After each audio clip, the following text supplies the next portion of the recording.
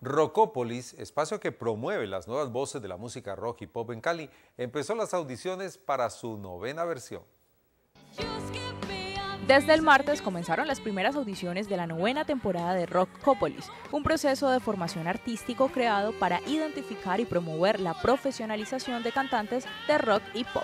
Cada año hacemos una convocatoria, se inscriben entre 100 y 150 cantantes de nuestra ciudad y escogemos 60 para que inicien un proceso formativo que consiste en mejorar la técnica vocal, en mejorar la expresión corporal y en definir un estilo que va a determinar cuáles son los líderes vocales de Cali.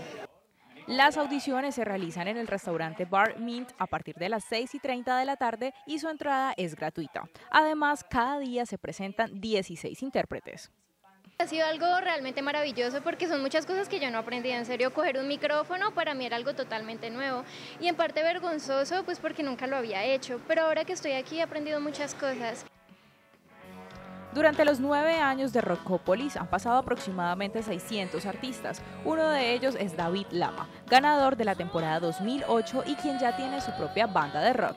Musicalmente estoy jugando con un montón de influencias. Eh, sonidos, digamos, relacionados con el folk anglosajón, con la música española,